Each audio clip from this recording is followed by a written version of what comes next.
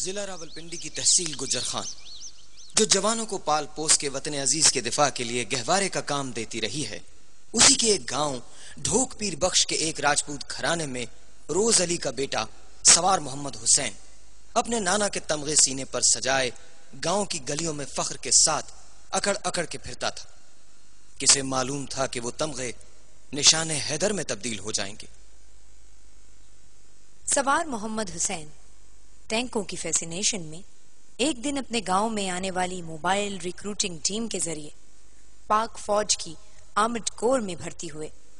तरबियत की तकमील के बाद, उनको टैंक ड्राइवर का ट्रेड मिला और उन्हें 20 लांसर में भेजा गया, जो कोर रेकी रेजिमेंट के फराइज अंजाम दे रही है। मुलाजमत के चार माह बाद ही, उनकी शादी उनकी खालाजाद अर्जा से हो गई और अल्लाह ने उन्हें एक बेटी से नवाजा। अक्टूबर 1971 वो अपनी बीवी और बच्ची के साथ छावनी में रहते हैं। जंग के दौरान बेटे की पैदाइश की खबर मिलती है। दुश्मन की वन कोर का जारहाना मंसूबा। शकरगढ़ के सरहदी इलाके से पेशकदमी करते हुए जफरवाल, नारेवाल और पसरूर तक कब्जा करने का है। और ये सब इन्फेंट्री और टैंकों की मदद से होना था। और टैंक से सवार मोहम्मद हुसैन की बचपन से फैसिनेशन अब एक जज्बा बनकर उभरती है। तीन दिसंबर की रात, सब दिफाई मोर्चों में मौजूद हैं कि सवार मोहम्मद हुसैन दो तीन मरतबा स्क्वाड्रन कमांडर के टेंट के पास जाते हैं, फिर कुछ सोचकर वापस आ जाते हैं। वो मिलना चाहते हैं, लेकिन बेचैनी में हैं।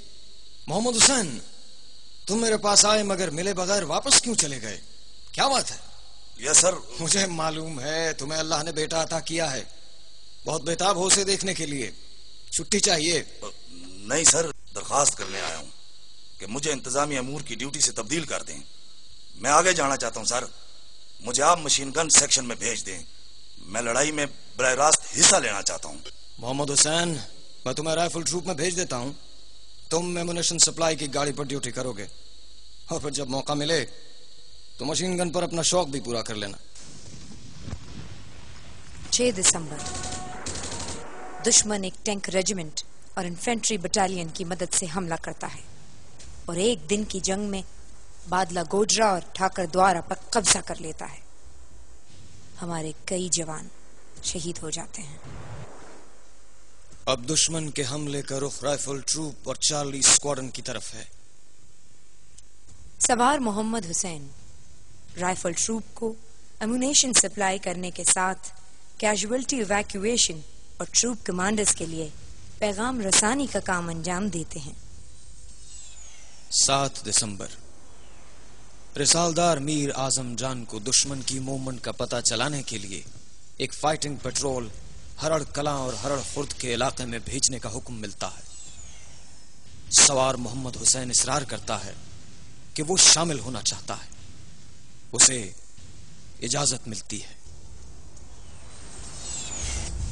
अब जंग एक पेचीदा मरहले में दाखिल हो चुकी है। हर तरफ़ धुआँ और धमाकों की आवाज़ें हैं।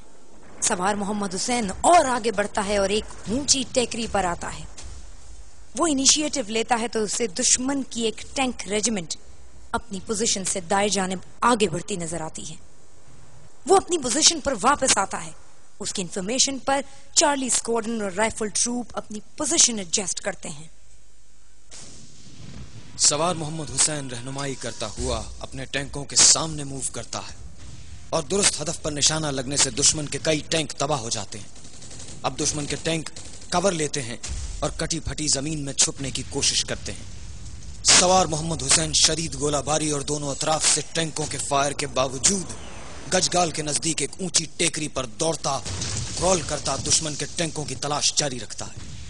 अपने टैंकों को अहदाफ की निशानदही करवाता है और इनके तबाह होते ही मोहम्मद हुसैन के नारों की आवाज़ शकरगढ़ के महाज पर गूंजती हुई अपने सिपाहियों के लिए मिशल राह बन जाती है। सवार आलम के जख्मी हो जाने के बाद सवार मोहम्मद हुसैन अब अकेला रह जाता है। मगर वो इसी जुर्रत और उसी बहादुरी का मुजाहरा करते हुए अपना काम जारी रखता है। अब तक की लड़ाई में दुश्मन के 18 टैंक तबाह हो चुके हैं। एक लम्हे पर उसे दुश्मन के दो टैंक करीब फासले पर नज़र आते हैं। वो दौड़ता हुआ अपने टैंक के पास जाता है और हदफ की निशानदही करता है। पलक झपकने में दुश्मन का एक टैंक तबाह हो जाता है, जबकि दूसरा कवर में चला जाता है।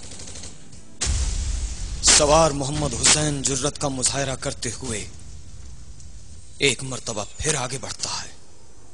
मगर उसी लम्हे सामने वाले दुश्मन के टैंक की मशीन गन की गोलियाँ उसके सीने में लगती हैं। और सवार मोहम्मद हुसैन शहीद हो जाता है। सिलाए शहीद क्या है?